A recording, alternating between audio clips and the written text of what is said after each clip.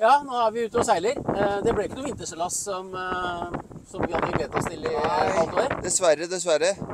Men, eh, og det er klart at eh, vi slåss mot Ingunn, men Ingunn er ikke så slem her. Nei, Ingunn er ganske snill mot oss, det må Ja, jeg si. ja, det var jo ganske blåste mye i går, men nå er det nesten vårlig. Jeg vil nesten kalt det vårseilasen. Det er-. Åtte grader sol og vestavind, så Ja. vi krysser rett ut fjorden. Vi slører med stikk i skjøtet og gjør eh, seks-syv knop, så det går fort som bare det. Ingenting å klage på.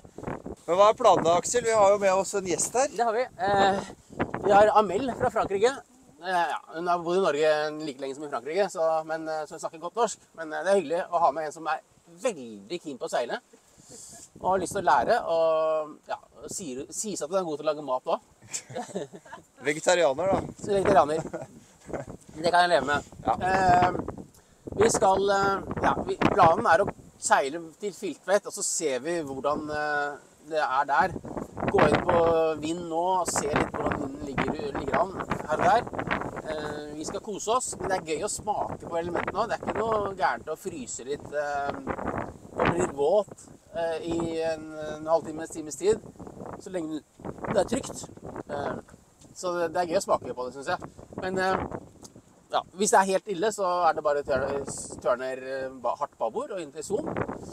Eh, Åsgårdstrand er et fint sted. Eh, jeg kunne godt tenke meg å kanskje dra til Strømstad også, så har vi liksom nådd målet.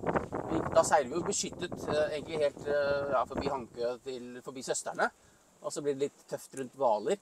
Men, eh, men da blir det en ja, litt hard time. Eh, Det er nok grov sjø og sånn, men jeg føler at de ligger trygt i Strømstad. Bolærene er ganske utsatt for eh, vind fra vest, vestlig vind. Jeg var inne og så på norske havneguiden, og der ser du hvor mye forskjellige havner er eh, utsatt. Og det var liksom score eh, 36% av 100, så det, det er ikke bra. Ja, så det er planene. Særlig sydover. Ja.